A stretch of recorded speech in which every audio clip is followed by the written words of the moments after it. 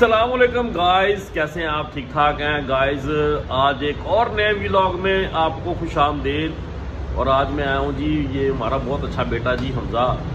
बहुत ज़बरदस्त कटिंग करता है। मुझे इसके पास काफ़ी अर्सा हो गया है। ख़त कराने आया हूँ इनके पास।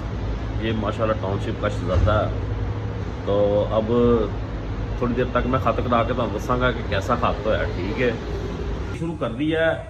और मैं ये इनकी माशाल्लाह बहुत अच्छी हेयर सलून है जी। लुक्स हेयर सलून के नाम से है जी नर्सरी स्टॉप पे।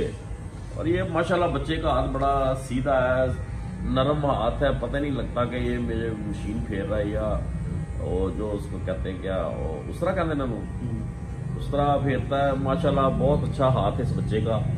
और काफ़ी अर्से से मैं इसके पास आ रहा हूँ साहब के पास।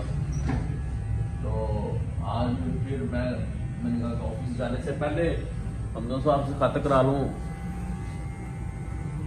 इसके बाद गाड़ी वॉश कराऊँगा इन ताला सर्विस कराऊँगा गाड़ी। फिर इन ताला अपने रोज़मर्रा के कामों पे मैं निकल जाऊँगा।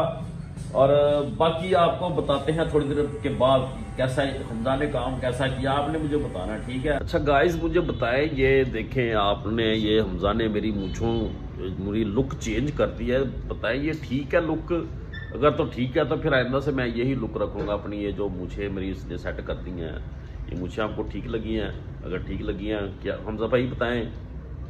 जी आपके सामने है देख लें। देख लें जी मुछा सही ने? ठीक है जी आ, बस मैं कहना क्या बात है हमजा साहब? हम जिस तरह मेरे गाइस कैन गो जी इंशाल्लाह तला करांगे ठीक है जी।